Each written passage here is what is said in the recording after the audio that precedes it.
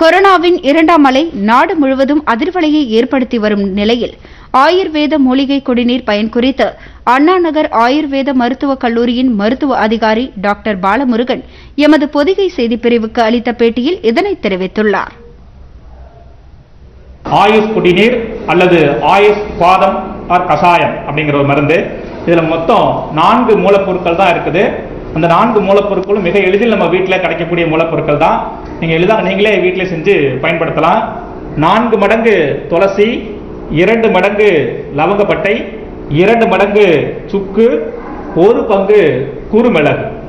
இதெல்லாத்தையும் நல்ல ஃபைன் பவுடராக செய்துக்கிட்டு ஐந்து கிராம் அளவு எடுத்துக்கொண்டு நூற்றி ஐம்பது எம்எல் தண்ணீரில் கலந்து கலந்து எலுமிச்சை பழச்சாறு உலர் திராட்சை தேவையான அளவு கலந்து பண வெல்லமும் கலந்து பயன்படுத்தணும் அப்படின்னா நோய் எதிர்ப்பாற்றலும் கிடைக்கும். சுவாச உறுப்புகளும் சீராக செயல்படும்.